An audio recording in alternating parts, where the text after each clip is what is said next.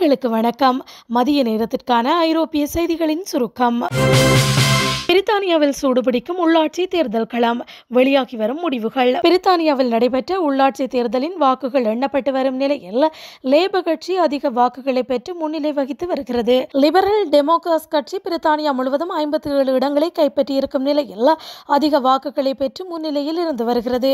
London பெருநகர சபை உறுப்பினர்கள் தேர்வு மற்றும் வேல்ஸ் ஸ்காட்லாந்து ஆகியவற்றின் உள்ளூர் அதிகாரிகளை தேர்வு செய்வது தொடர்பான தேர்தல் பிரித்தானியாவில் நேற்று நடைபெற்றமை குறிப்பிடத்தக்கது. Thank you. ஜெர்மனியில் இயற்கை எரிவாயு டெர்மினல்களை உருவாக்க திட்டம். குழாய் மூலம் செலுத்தப்பட்ட எரிவாயுவை விரைவாக திரும்பப் பெறுவதற்கான முயற்சியில் ரஷ்யா ஈடுபட்டுள்ளதன் காரணமாக திரவமாக்கப்பட்ட இயற்கை எரிவாயு டெர்மினல்களை உருவாக்குவதற்கு ஜெர்மன் திட்டமிட்டுள்ளது. ஜெர்மன் சுற்றுச்சூழல் குழுவான டச் வில்ஹெம் ஜேவானில் டெர்மினல்கள் உருவாக்குவதற்கு எதிராக எதிர்ப்பை பதிவு செய்துள்ளது. இந்த கட்டுமானமானது உணர்திறன் வாய்ந்த சுற்றுச்சூழல் அமைப்புகளை மீள முடியாமல் அழித்துவிடும். அத்துடன் ஃபோஃபோய்ஸ்கள் வாழும் இடத்தை ஆபத்தில் ஆழ்த்தும் என்று எச்சரிக்கையும் விடுக்கப்பட்டுள்ளது.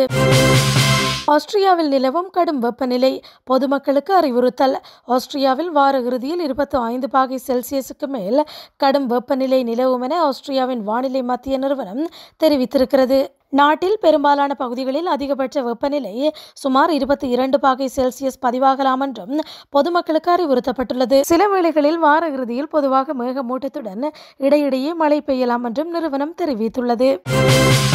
உக்ரைனிய அகதிகளை சுரண்டினால் கடும் தண்டனை. டென்மார்க் அறிவிப்பு. டென்மார்க் நோர்வே மற்றும் ஸ்வீடனில் உக்ரைனிய அகதிகள் சுரண்டப்படும் வழக்குகளுக்கு கடும் தண்டனை வழங்கப்படும் என டென்மார்க் அறிவித்துள்ளது. போர் அகதிகளை சுரண்டுவது தண்டனையில் ஒரு மோசமான காரணியாக கருதப்பட வேண்டும் என்றும் இது கடுமையான தண்டனைகளுக்கு வழிவகுக்கும் என்றும் அறிக்கைகள் தெரிவிக்கின்றன. பகிரங்க மன்னிப்பு கோரிய ரஷ்ய ஜனாதிபதி புட்டின் அடோல்ஃப் கிட்லரும் ஒரு ஜூதர்தான் என்று பொருள்படும்படி ரஷ்ய வெளியுறவு அமைச்சர் வெளியிட்ட கூற்றுக்கு ரஷ்ய ஜனாதிபதி விளாடிமிர் புட்டின் மன்னிப்பு கேட்டுள்ளார். இதனை இஸ்ரேலிய பிரதமர் நாப்டாலி பெனட் கூறியிருக்கிறார். இதற்கு முன்னரும் ரஷ்ய வெளியுறவு அமைச்சர் செர்கி லாவ்ரோவ் அடல்ஃப் கிட்லர் யூத பூர்வீகம் என்று கூறி சர்ச்சையை ஏற்படுத்தியிருந்தார். ஜனாதிபதி புட்டின் மன்னிப்பு கேட்டதை ஏற்றுக்கொண்டதாகவும் அவருக்கு நன்றி தெரிவித்ததாகவும் ஆஸ்திரேலிய பிரதமர் ஃபெனட் கூறியுள்ளார். பிரித்தானியாவுக்கு நாற்பத்தி எட்டு மணி நேர காலக்கெடு. மிரட்டல் விடுக்கும் மர்மக்குழு. ரஷ்யாவின் சைபர் கிரைம் கும்பலைச் சேர்ந்த ஒருவர் லண்டனில் கைது செய்யப்பட்டுள்ளார். இந்த நிலையில் ரஷ்ய ஹேக்கர்கள் குழு ஒன்று குறித்த இளைஞரை விடுவிக்க கோரிக்கை விடுத்துள்ளதுடன் மறுப்பு தெரிவித்தால் பிரித்தானியா முழுவதும் உள்ள மருத்துவமனைகளில் உயிர்காக்கும் வெண்டிலேட்டர்களை முடக்கி ஆயிரக்கணக்கான நோயாளிகளின் உயிர்களை பறித்து விடுவதாகவும் மிரட்டல் விடுத்துள்ளனர். ரஷ்ய ஜனாதிபதி விளாடிமிர் புட்டினின் ஆதரவாளரும் லண்டனைச் சேர்ந்தவருமான இருபத்தி மூன்று வயதுடைய இளைஞரையே இவ்வாறு கைது செய்துள்ளனர்.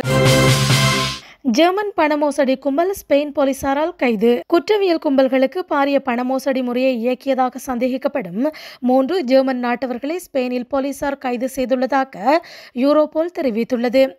சந்தேக நபர்கள் வங்கியொன்றின் நிதி கட்டமைப்பை கையகப்படுத்தி நூற்றுக்கணக்கான மில்லியன் யூரோக்கள் பரிவர்த்தனைகளை சுற்றி வளைத்துள்ளதாகவும் தெரிய வந்துள்ளது பண மோசடி கும்பல் போதைப்பொருள் கடத்தலுடன் தொடர்புடையவர்களின் நடவடிக்கைகளுக்கு நிதியளிக்கும் செயற்பாட்டில் ஈடுபட்டுள்ளமையும் கண்டுபிடிக்கப்பட்டுள்ளது. டென்மார்க்கிலிருந்து வெளியேற்றப்பட்ட ரஷ்ய ராஜதந்திரிகள். ரஷ்யா பதிலடி. டென்மார்க்கிலிருந்து பதினைந்து ரஷ்ய ராஜதந்திரிகள் வெளியேற்றப்பட்டதை தொடர்ந்து விளக்கமளிக்க டென்மார்க் தூதர் கான்ஸ்டன் சோண்டா கார்ட் வரவழைக்கப்பட்டுள்ளதாக ரஷ்யாவின் வெளியுறவு அமைச்சகம் தெரிவித்துள்ளது. வெளிப்படையான ரஷ்ய எதிர்ப்பு கொள்கைகள் இருதரப்பு உறவுகளுக்கும் கடுமையான சேதத்தை ஏற்படுத்துகின்றன என்றும் மாஸ்கோவில் உள்ள வெளியுறவு அமைச்சகம் ஒரு அறிக்கையில் தெரிவித்துள்ளது. மேலும் இதற்கு பதிலடி கொடுக்கும் வகையில் பின்னர் டென்மார்க் தூதரகத்தின் தூதர் விசா மறுக்கப்பட்டுள்ளதாகவும் அந்த அறிக்கை கூறியிருக்கிறது. பிரித்தானியாவிலிருந்து இருபத்தி நான்கு பேர் நாடு கடத்தல். பிரித்தானியாவிற்குள் சட்டவிரோதமாக நுழைந்த சட்டவிரோத புலம்பெயர்ந்தோர் இருபத்தி நான்கு பேர் நேற்றைய தினம் நாடு கடத்தப்பட்டனர். சட்டவிரோதமாக பிரித்தானியாவுக்குள் நுழையும் புலம்பெயர்வோரை ருவாண்டாவுக்கு அனுப்பும் விடயத்தில் உறுதியாக உள்ளதாகவும் புலம்பெயர்ந்தோரை அனுப்பும் முதல் விமானம் தயாராகி வருவதாகவும் பிரீத்தி பட்டேல் தெரிவித்துள்ளார். எங்களுக்கு தெரியும். நெதர்லாந்துக்கு இந்தியா பதில். உக்ரைன் விவகாரத்தில் என்ன செய்ய வேண்டும் என எங்களுக்கு தெரியும் என்று நெதர்லாந்து தூதருக்கு இந்தியா கராராக பதிலளித்துள்ளது. ரஷ்யாவுக்கு எதிரான ஐநா சபையின் மேற்கத்திய நாடுகள் கொண்டு வந்த தீர்மானத்தின் மீதான வாக்கெடுப்பிலும் இந்தியா பங்கேற்காமல் தவிர்த்து வரும் நிலையில் ஐநா பொதுச்சபையில் வாக்கெடுப்பில் பங்கேற்பதிலிருந்து புறக்கணித்திருக்க கூடாது என ஐநா சாசனத்தை மதியுங்கள் எனவும் நெதர்லாந்து அறிவுரை கூறியுள்ளமை குறிப்பிடத்தக்கது. நேட்டோவின் பாதுகாப்பு கொள்கை. மதிப்பாய்வை முன்வைக்கவுள்ள ஸ்வீடன். ஸ்வீடனில் மே பதிமூன்றாம் தேதி நேட்டோ உறுப்பினர் பற்றிய பார்வைகள் உட்பட பாதுகாப்பு கொள்கை மதிப்பாய்வை முன்வைக்க உள்ளன ரஷ்ய ராணுவ ஹெலிகாப்டர் புதன்கிழமை பின்லாந்தின் வான்வெளியை மீறியதைத் தொடர்ந்து வாலஸின் ஆதரவு அறிக்கை வந்தது. ஸ்வீடனின் வான்வெளியை ரஷ்ய உளவு விமானம் அத்துமீறியுள்ளமையினால் பின்லாந்து மற்றும் ஸ்வீடன் தங்கள் கிழக்கு அண்டை நாடுகளின் ஆக்கிரமிப்புக்கு எதிரான ஒரு தடுப்பாக நேட்டோவில் சேரலாம் என்று கருதும் போது ரஷ்ய தலையீடுகளுக்கு ஆளாக நேரிடும் என்று நிபுணர்களும் எச்சரித்துள்ளனர். மரியப்போல் எஃகு ஆலை மீது மீண்டும் தாக்குதல். உக்ரைனின் மரியப்போல் நகரில் உள்ள எஃகு ஆலை மீது மீண்டும் சரமாரி தாக்குதல் நடத்தப்பட்டுள்ளது. மரியப்போல் நகரில் பெரும்பாலான பகுதியை ரஷ்யா தனது கட்டுப்பாட்டில் கொண்டு வந்த நிலையில் அந்நகரில் உள்ள அசோஸ்டல் எஃகு ஆலையில் உக்ரைனிய வீரர்களுடன் ஆயிரக்கணக்கான மக்கள் தஞ்சமடைந்தனர். அசோஸ்டல் ஆலை மரியப்போல் மற்றும் அதை சுற்றியுள்ள பகுதியிலிருந்து கிட்டத்தட்ட ஐநூறு பேர் இரண்டு முறை வெற்றிகரமாக வெளியேற்றப்பட்டதாக ஐநா பொதுச் செயலாளர் ஆண்டனியோ குட்ரஸ் உறுதிப்படுத்தியுள்ளார். நோவையில் விவசாயிகளுக்கு பத்து தசம் ஐந்து பில்லியன் குரோனர் இழப்பீடு தொகை. வேளாண்மை மற்றும் உணவு அமைச்சகம் விவசாயிகள் மற்றும் விவசாய அமைப்புகளுக்கு பத்து தசம் ஐந்து பில்லியன் குரோனர்களை வழங்கியுள்ளது.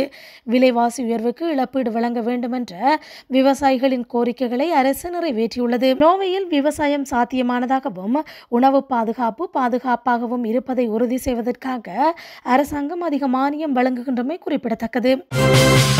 உக்ரைன் ரஷ்ய போர் முடிவுக்கு வர வேண்டும். ஐநா தெரிவிப்பு. உக்ரைன் மீதான ரஷ்யாவின் படையெடுப்பு அதன் பிராந்திய ஒருமைப்பாடு மற்றும் ஐக்கிய நாடுகள் சபையின் சாசனத்தை மீறுவதாகும். உக்ரைன் ரஷ்யா மக்களுக்கு மட்டுமல்லாமல் உலக மக்களின் நலனுக்காக போர் முடிவுக்கு வர வேண்டும் என ஐநா பொதுச் செயலாளர் ஆண்டனியோ குட்ரஸ் தெரிவித்துள்ளார்.